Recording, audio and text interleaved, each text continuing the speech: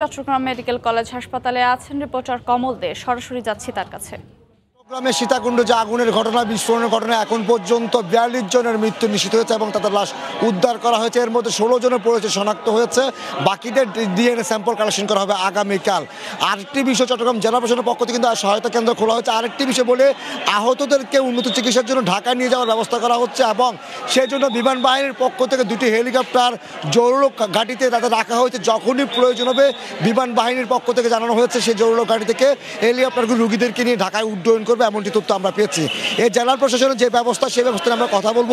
নির্বাহী ম্যাজিস্ট্রেট তহিদুল ইসলামের সাথে তহিদ আপনার স্বাগত জানাচ্ছি। এখন পর্যন্ত জেলা প্রশাসন এই আহত এবং নিহতদের ব্যাপারে কি ব্যবস্থা নিয়েছে? ধন্যবাদ। যে সকল সদস্যরা আহত হয়েছেন তাদেরকে ক্ষতিপূরণ দেওয়া হচ্ছে। যারা নিহত পরিবার, তাদেরকেও ক্ষতিপূরণ দেওয়া হবে। শ্রম মন্ত্রণালয় থেকে দুই লক্ষ টাকা করে ক্ষতিপূরণ দেওয়া হবে নিহত পরিবারকে। দুর্যোগ এবং ত্রাণ মন্ত্রণালয় থেকে এক লক্ষ টাকা করে দেওয়া হবে নিহত পরিবারকে। জেলা প্রশাসন চট্টগ্রামের পক্ষ থেকে পঞ্চাশ হাজার টাকা করে দেওয়া হবে। এর পাশাপাশি যারা আহত পরিবার আছে, শ্রম মন্ত্রণালয় থেকে তাদেরকে দেওয়া হবে পঞ্চাশ হাজার টাকা করে, দুর্যোগ এবং ত্রাণ মন্ত্রণালয় থেকে দেওয়া হবে পঁচিশ করে, এবং জেলা প্রশাসন চট্টগ্রামের পক্ষ থেকে বিশ হাজার টাকা করে দেওয়া হবে। এর পাশাপাশি দেখতে পাচ্ছেন যে এখানে ইমার্জেন্সি যে আছে চট্টগ্রাম মেডিকেলে সেটার সামনে একটি সহায়তা কেন্দ্র খোলা হয়েছে। সেখানে যে সকল রোগী এখানে ভর্তি রয়েছেন তাদের ব্যাপারে তথ্য তাদের আত্মীয় স্বজনকে প্রদান করা হয়েছে, হচ্ছে যারা যাদের মৃতদেহ এখনও শনাক্ত হয়নি তাদের শনাক্তকরণে সহায়তা করা হচ্ছে। আহ, যাদেরকে এখনোই মেডিকেলভাবে শনাক্ত করা যায়নি তাদেরকে ডিএনএ স্যাম্পল কালেকশনের মাধ্যমে শনাক্ত করা হবে এবং আগামীকাল সকাল থেকে আমাদের এই কার্যক্রম শুরু হবে। এর পাশাপাশি আরেকটি কথা জানিয়ে রাখি এখানে জেলা প্রশাসক চট্টগ্রাম স্যারের নির্দেশে যে এখানে সহায়তা কেন্দ্র খোলা হয়েছে সেখানে এখানে যারা মান- সচ্ছল মানুষ রয়েছে তারা বিভিন্ন ধরনের সাহায্য সহযোগিতা প্রদান করছেন। এগুলো রোগীদের কাছে পৌঁছে দেওয়া হচ্ছে। হ্যাঁ, ধন্যবাদ। আমরা কথা বলছিলাম নির্বাহী ম্যাজিস্ট্রেট তহিদুল ইসলামের সাথে। তিনি আমাদেরকে যাচ্ছিলেন জানাচ্ছিলেন যে যারা নিহত হয়েছেন তাদের পরিবারকে এখন পর্যন্ত প্রায় সাড়ে তিন লাখ টাকা করে দেওয়ার সিদ্ধান্ত হয়েছে এবং যারা আহত হয়েছেন তাদেরকে তো পঁচাত্তর হাজার টাকা করে দেওয়ার একটি সিদ্ধান্ত হয়েছে প্রশাসন সরকার এবং মন্ত্রণালয়ের পক্ষ থেকে। এবং এই ক্ষেত্রে কিন্তু চট্টগ্রামের জেলা প্রশাসনের কিরা একটা সহায়তা কেন্দ্র খুলেছে এবং সেখানে তাদের ব্যবস্থা দেওয়া হচ্ছে। তো বলা চলে যে চট্টগ্রামে যারা এখন পর্যন্ত পরিচিত শনাক্ত হয়নি তাদের ডিএনএ স্যাম্পলের জন্য আগামীকালে একটি বুথ খোলা হবে। এমনটি তথ্য আমরা কিন্তু পেয়েছে। এবং আরেকটি বিষয় যদি বলে, আমরা যেটা জানতে পেরেছি, যারা বার্ন ইউনিটে ভর্তি রয়েছে প্রায় পঞ্চাশ জনের মতো, তাদের উন্নত চিকিৎসার জন্য আগামীকাল সকালে শেখ হাসিনা বার্ন ইনস্টিটিউট যেটি রয়েছে ঢাকায়, সেটির প্রধান সামন্তলাল, ডাক্তার সামন্তলাল সেন, আগামীকাল সকালে তার পুরো টিম নিয়ে চট্টগ্রামে আসবেন এবং চট্টগ্রাম এসে তিনি যারা আহত হয়েছে, অর্থাৎ বিশেষ করে দগ্ধ হয়েছেন তাদের যে চিকিৎসা সহযোগিতা, চিকিৎসা কী কী প্রয়োজন হবে এবং তাদের কী চিকিৎসার দরকার, সেটি তিনি পর্যবেক্ষণ করে সেই অনুযায়ী ব্যবস্থা আমরা যতটুকু জানতে পেরেছি, আজ রাতে তিনি চট্টগ্রাম আসবেন এবং আগামীকাল সকালে তিনি বার্ন ইউনিটে এসে সে তাদের সহায়তা সহ- সহযোগিতার যে বিষয়টি, সেটা তিনি নিশ্চিত করবেন। বিশেষ করে বার্ন ইউনিটে যারা পঞ্চাশ জনের মতো ভর্তি যেহেতু একটি কেমিক্যাল বান আগুনে বান হচ্ছে কেমিক্যাল বান সেখানে কিন্তু তাদের অবস্থা খুব ক্রিটিক্যাল এবং সতেরো জনের প্রায় তারা পুরো অংশ পুড়ে গেছে। তাদের কি কি চিকিৎসা ব্যবস্থা করা যায়, উন্নত চিকিৎসা ব্যবস্থা কী হবে, সেটি হয়তো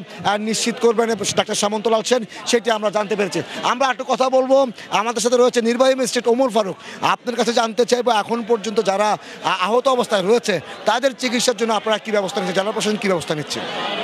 আপনারা জানেন যে জেলা প্রশাসন ইতিমধ্যে একটি সহায়তা কেন্দ্র খুলেছে এবং এর মাধ্যমে আমরা যারা আহত, যার যে রুগীরা আসতেছে, আমরা তাদেরকে নিয়ে আপনার হসপিটালাইজড তাদেরকে করছি এবং পাশাপাশি যে এই ঔষধ, বিভিন্ন ধরনের ঔষধ আমরা এখানে রিজার্ভ রেখেছি। যাদের যে ওষুধ প্রয়োজন, তাদেরকে ওষুধগুলো আমরা প্রদান করছি ডাক্তারের স্লিপ প্রেসক্রিপশনের মাধ্যমে।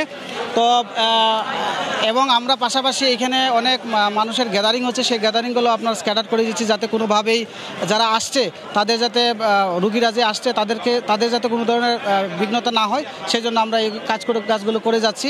এবং আমাদের আগামীকালকেও আপনার ফরেন্সিক ডিপার্টমেন্ট খোলা হবে। আমরা ডিএনএ টেস্টের মাধ্যমে ডাক্তারের সহায়তা ডিএনএ টেস্টের মাধ্যমে আমরা রুগী শনাক্ত করার চেষ্টা করব, যারা কি আগুনের মাধ্যমে আপনার পুড়ে গিয়েছে বা যাদের শনাক্ত করা যায়নি। ধন্যবাদ, আমরা কথা বলছি নির্বাহী ম্যাজিস্ট্রেট ওমর ফারুকের সাথে।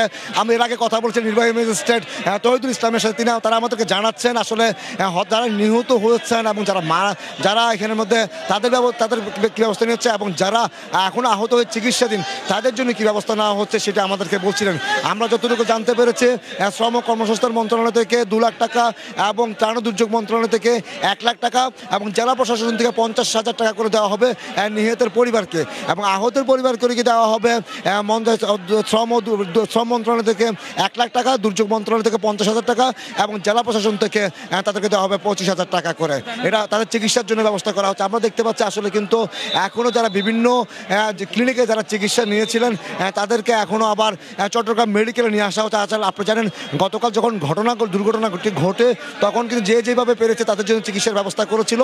এখন আমরা দেখেছি একটি মেট্রিক ক্লিনিকে চিকিৎসাধীন ছিলেন এমন একজন রোগীকে কিন্তু চট্টগ্রাম মেডিকেলে এখন নিয়ে আসা হয়েছে। অর্থাৎ বলা চলে, গতকাল রাতে আমরা দেখেছিলাম একটা ভয়াবহতা, আহতের ভয়াবহতাটা ছিল বিপর্যয়কর আহতদেরকে আনা হচ্ছিল।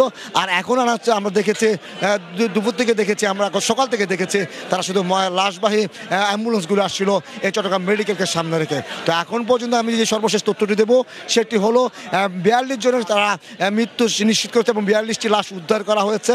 আহতের সংখ্যা প্রায় সাড়ে চার হাজারের বেশি এবং একই সাথে বলব, ইতিমধ্যে ষোলো জনের পরিচয় শনাক্ত করা হয়েছে এবং বাকি পরিচয় শনাক্তের জন্য আগামীকাল ডিএনএ স্যাম্পল সংগ্রহ করা হবে এবং আরেকটি বিষয় যেটি তথ্য বলে আমি তথ্য দিব আপনাদেরকে, সেটি হলো যারা বার্ন ইউনিটে চিকিৎসাধীন রয়েছেন, তাদের উন্নত চিকিৎসার জন্য যে ঢাকায় অবস্থিত শেখ হাসিনা বার্ন ইনস্টিটিউটের যে প্রধান ডাক্তার সামন্তলাল ডাক্তার সামন্তলাল সেন এবং তার পুরো টিমকে আগামীকাল চট্টগ্রাম আসবেন, তারা চিকিৎসা ব্যবস্থা করবেন এখানে। এবং একই সাথে বলব, বাংলাদেশ বিমান বাহিনী দুটি হেলিকপ্টারকে প্রস্তুত রাখা হয়েছে আহতদের উন্নত চিকিৎসার জন্য ঢাকা নিয়ে যাওয়ার জন্য। হয়তো কিছুক্ষণের মধ্যে এই আহতদেরকে নিয়ে কয়েকজনকে নিয়ে এই দুটি বিমান ঢাকার উদ্দেশ্যে যাত্রা করবে। তো এখন পর্যন্ত আমার কাছে ছিল চট্টগ্রাম মেডিকেল থেকে সর্বশেষ। এতক্ষণ সরাসরি যুক্ত ছিলাম চট্টগ্রাম মেডিকেল কলেজ হাসপাতালে।